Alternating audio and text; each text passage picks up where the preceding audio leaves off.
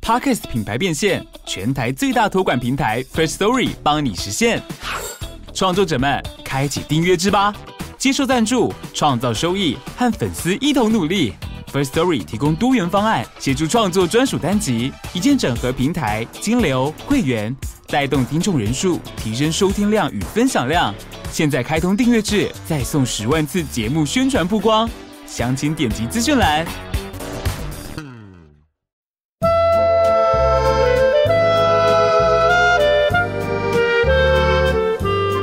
第一手的资讯，上有意思的奉上。语言是一种艺术，买单公家有艺术。嗨，大家好，我是赖金贤。欢迎收听《报道有艺术》。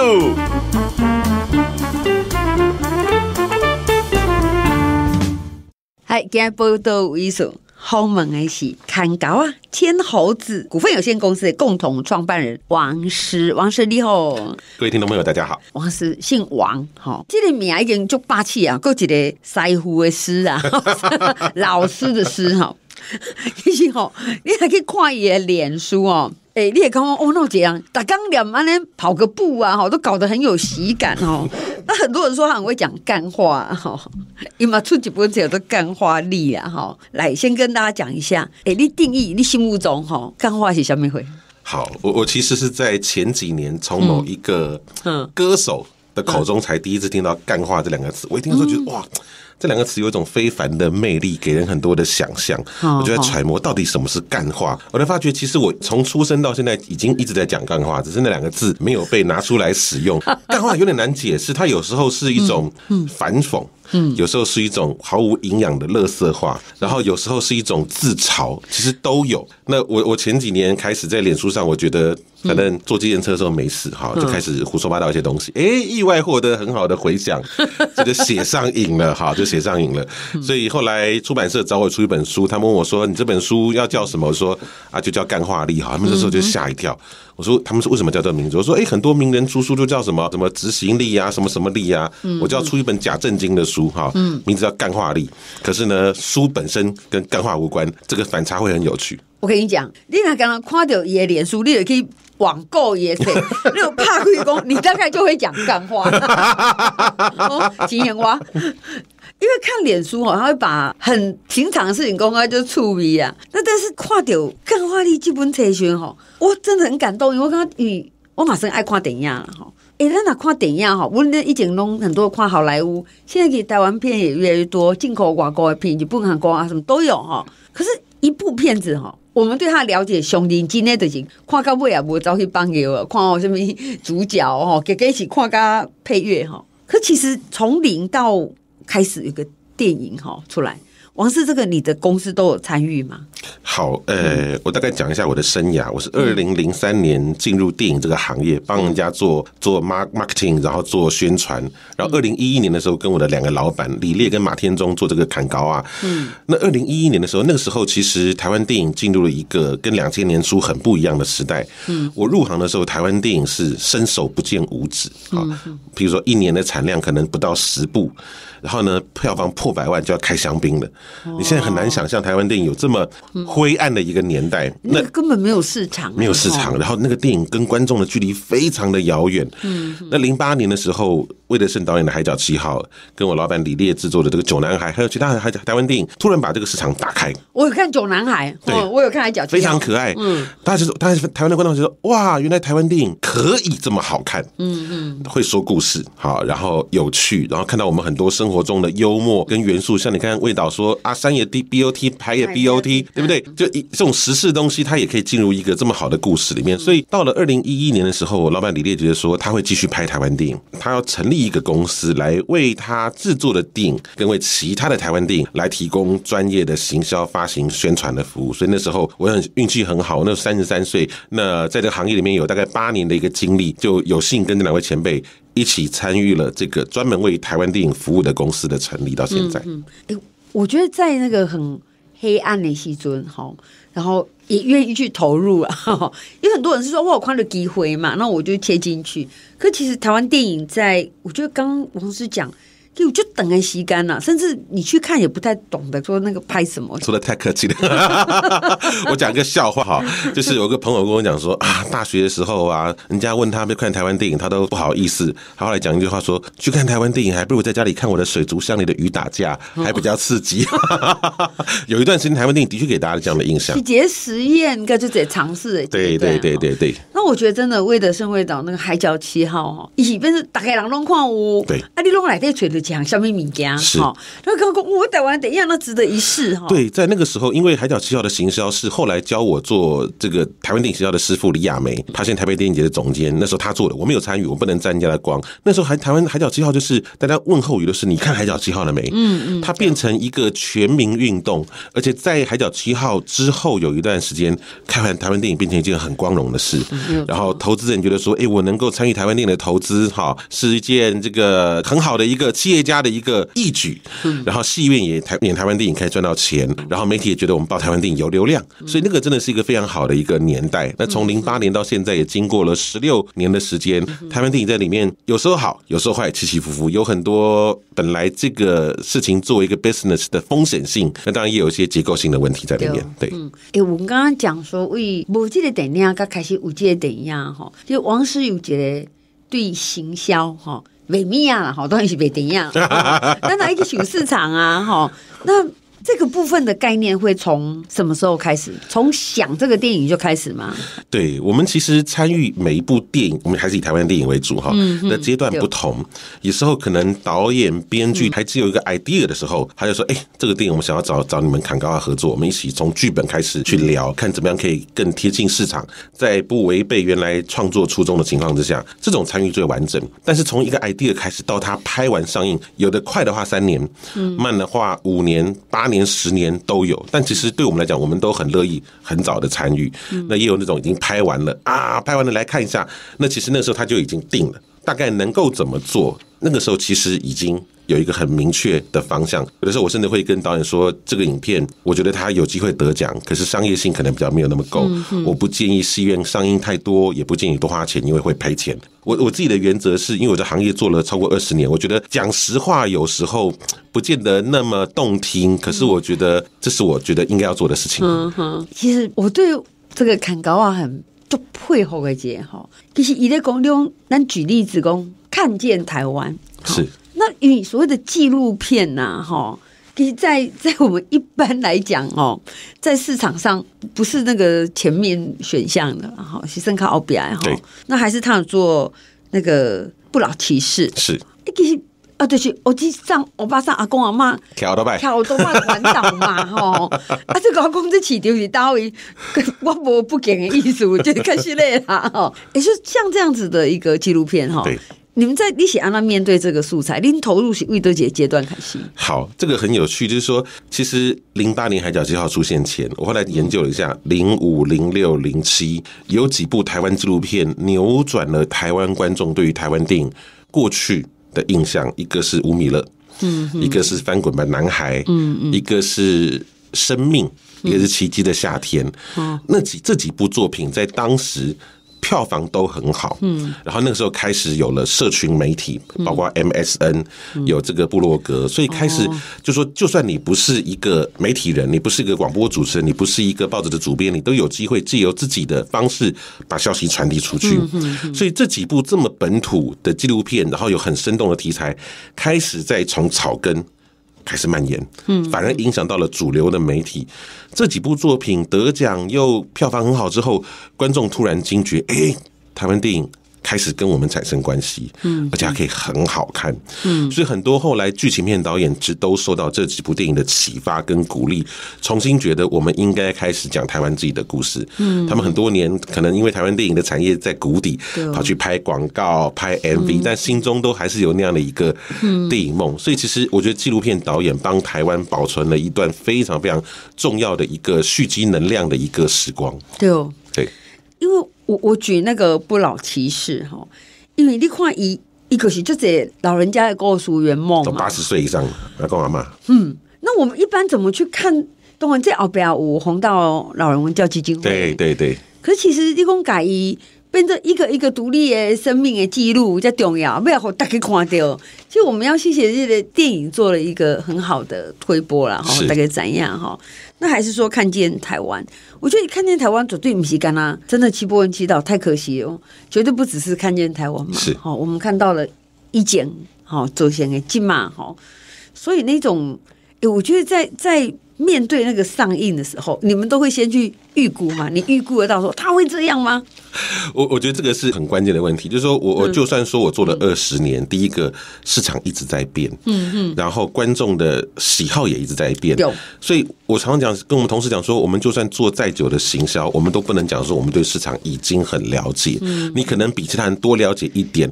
不老骑士跟看见台湾，其实当初都完全超出我的预期。嗯，但我知道一件事情是，作为一个观众，我当时看这两部电影的时候，我深深被打动，而且是他们还没有完成的时候。所以我，我自己觉得，其实，在现在这个作为一个消费者，你娱乐选项这么多的一个时代。其实故事有没有讲好，你自己最清楚。嗯，故事讲好，它才有可能变成一个打动人的电影。那做行销才有可能有这个失利的空间。嗯，所以我我常常跟创作者说，其实我们不要去羡慕好莱坞啊，羡慕韩国，羡慕日本，我们的市场就是两千三百万。你先把属于这个地方的故事讲好，你打动了本地的观众之后，你再想将来有没有可能进军国际。嗯，好，因为你不是侯孝贤，你不是杨德昌，如果你连台湾的观众都无法感动的时候，你凭什么说服老外？对，哎，因因为我觉得好电影就是好电影，在在台湾里面，可是像那个看见台湾来讲哦，我我就觉得就是发行这样一点细节尝试，因为因为它几乎没有很明显的剧情对。来告诉你在构图写安诺，对。可是大家看得懂，看得很关心，而且跨克布也还有很多的后续的效应，它有蝴蝶效应，对。好，所以会去走一个路线嘛，就是说关心台湾的路线嘛，对我，我其实看见台湾是二零一三年上映的，嗯，我还记得我是在二零一三年的二二八假期那一天跟祈祷第一次碰，因为我们两个都很忙，所以只能趁假期碰。碰的时候，他放了一些片段给我看，我光是看那片段我就很感动，没有声音，因为空拍是很远的，所以没有任何声音。可是我看那个就，哎、第一个念头是、啊这个是台湾吗？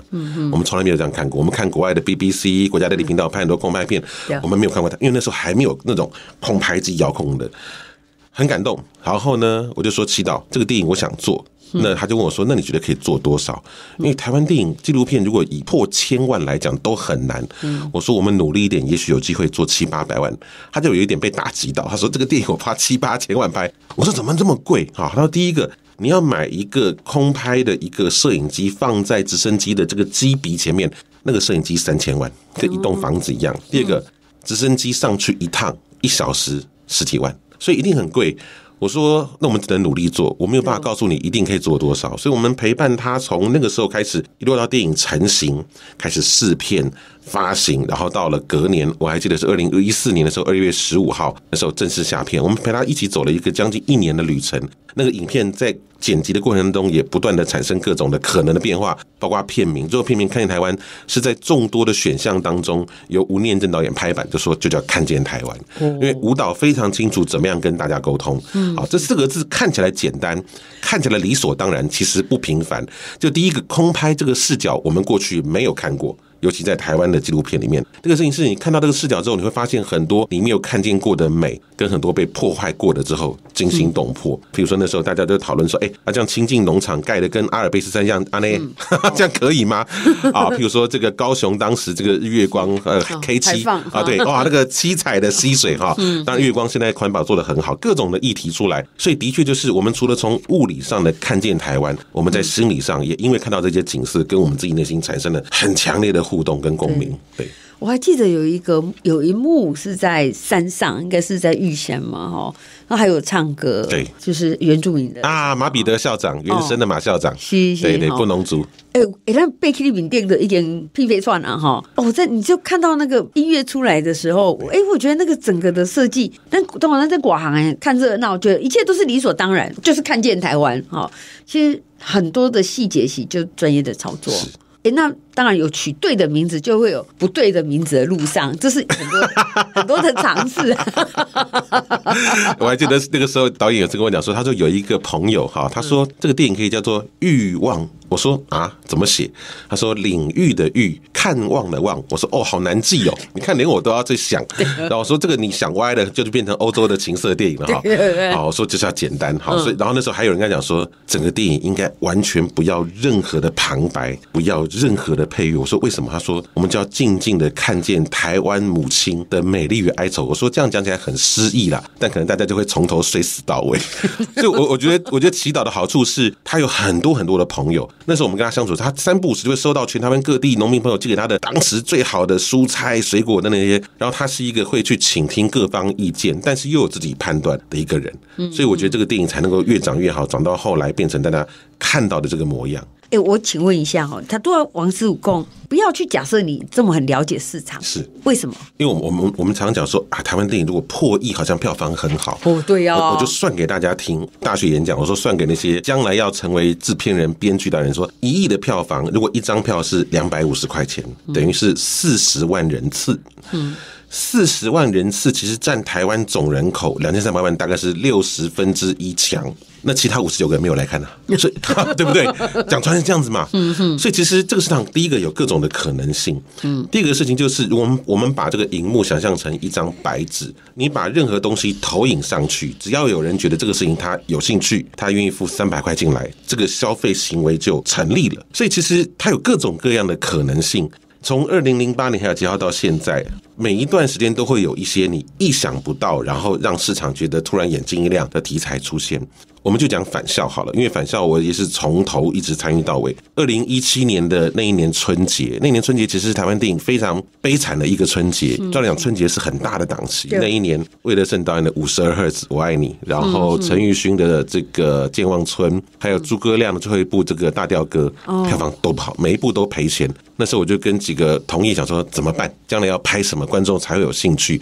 这几个人都是台湾当时响当当的大人物啊。那个时候出了一个游戏叫《返校》，而且是由一个应该只有不到十个人的很年轻、很本土的游戏团队做出来，结合了白色恐怖、师生恋啊，跟灵异的东西，嗯，这么有趣的题材结合在一起。导演徐汉强那时候坐我旁边，他说他玩过，他玩到最后流眼泪。我说哦，这样子哦，那这样子我如果把这个改编权谈下来，你要不要拍？他说好。后来我就做了一个简报，好，因为我老板李烈他不敢看恐怖片，好，所以我要做成简报，好给他看，他也他没办法去玩那游戏，他看到就是这个有机会，我们就去谈。后来透过很多朋友的介绍，就跟那游戏团队赤足就碰到了，那就拿下来改编权。那当然后来改编的过程很辛苦，原因是因为游戏讲故事的方式跟电影是不一样的。第二个，你要把那个场景、那个时代、那个特效做好，要花很多钱。当时反校花了九千三百万，以台湾电影来讲是非常高的制作金额。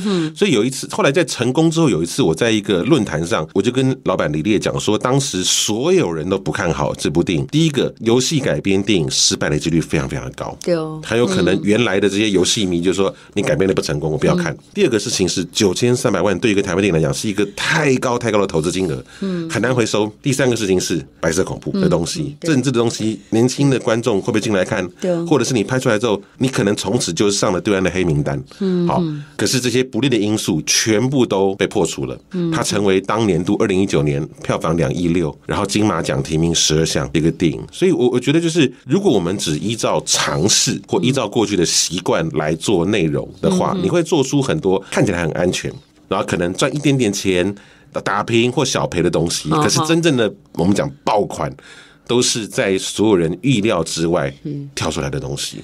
那东西就是整个社会的集体情绪，嗯，那不是你一个人说这个东西我喜欢我不喜欢就决定的。我在想，我是后来事后想说，如果不是赤足先做了这个游戏，假设今天好，比如说有人跟我讲，我有个故事，结合师生恋加白色恐怖加鬼片，我就说这什么鬼东西啊？这这个能 work 吗？一定被打枪。所以我觉得这个团队厉害的地方就是年轻人他擅长把各种我们看起来觉得不一定相关或可行的因素融合在一起，结果做出了一个这么好的一个游戏作品。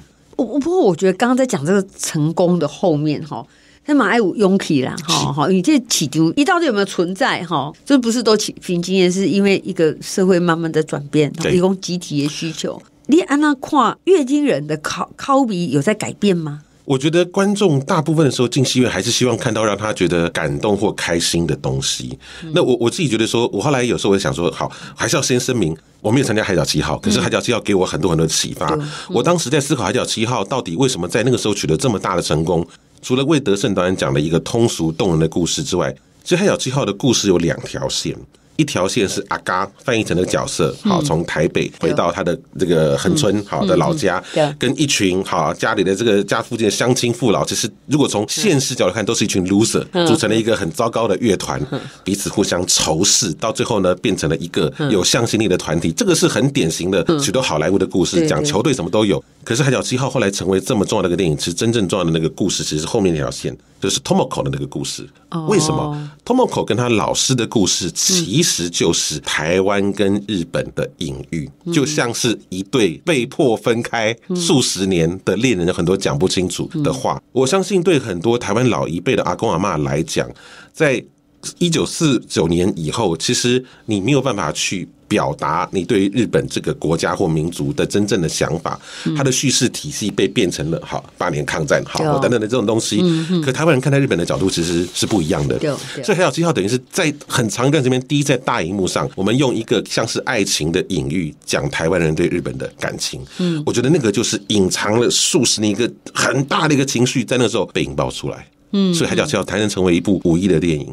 我觉得这个是我在当时看《海角七号》成功的时候，我觉得有趣的一个观察点。其实这个事情值得写一个论文的。哎，我我觉得听到王师把这个《海角七号》一夜，这是很隐藏的需求。对。那么就在台湾被压抑的东西。是的，这件事情在韩国上面也有很多的例子。比如说，我们看这个《寄生上流》好，或《鱿鱼游戏》，两个都很成功，一个得到奥斯卡最佳影片，一个得到很多艾美奖。他讲的什么？韩国当代其实是一个非常压抑的社会，讲说韩国青年的自杀率很高，然后韩国青年普遍面临，你如果没有办法进那几个大公司，你大概一辈子很难有现实上的成就，贫富差距很大。所以，其实这两部作品讲的都是韩国社会贫富差距。的问题，所以影视作品或文学，除了作为一种娱乐的表述之外，嗯，你怎么样去反映时代，或者把这个时代严肃的议题，用一种所有人都能够觉得跟它相关，而且看到一种很生动活泼的方式讲述出来。其实，我觉得这个是我们在做这份工作的时候非常重要的一个意义之所在。我们听到现在王子讲的都是我们在发现的阿玛嘎观众需求相遇型，就华裔那有没有沮丧的时候？就哦，这个电影做到后来，怎么觉得好像诶，天花板就在那里呀？有些问题没有办法处理，有没有？我现在已经心理素质很强健了，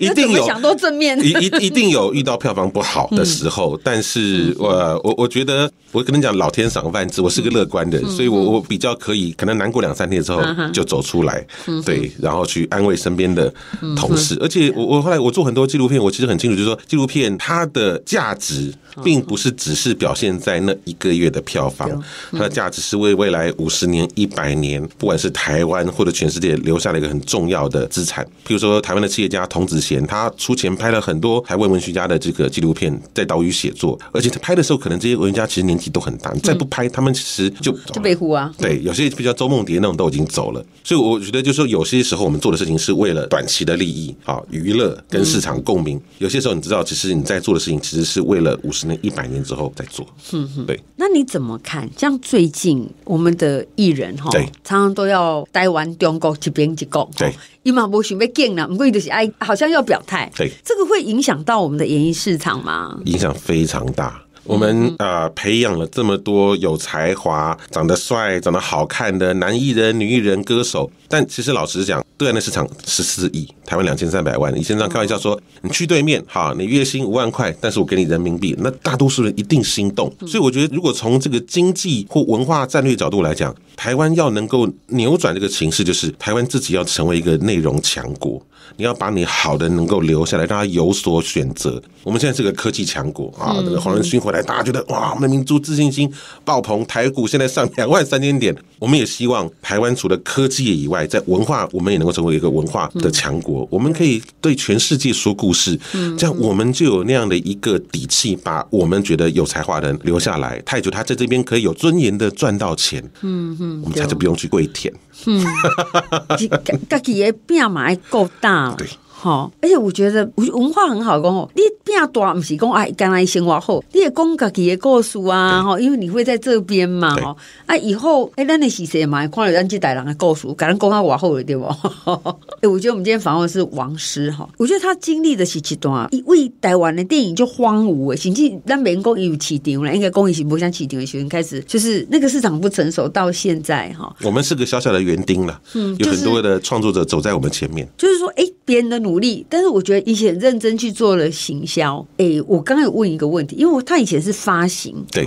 可现在有参与制作，制作对不？对，为什么没感觉不？因为我觉得我对于市场的了解，可以帮助很多创作者在源头让他作品能够更面向市场。这个事情是我做了发行做了二十年，我觉得我自己要有新的学习。嗯，不然就在那边好像都做自己很熟悉的事情。所以我现在也开始去跟导演、跟编剧或跟纪录片的团队一起从头开始把一个项目 cook 出来。像我明年有一部作品很重要，我找了一个年轻的纪录片导演，他去花莲跟台东拍那些。战后就来台湾传教的神父的修士的纪录片，嗯叫暂时的名字叫《海岸山脉的牧者》，拍瑞士白冷会、巴黎外方会来台湾的瑞士人跟法国神父，他们的台语、他们的阿美族族语讲的非常好。然后台湾最后东部的许多的医疗、教育、文化，都是这些神职人员一步一步建立起来。哇，那个电影我光看了片段，那个眼泪流不停。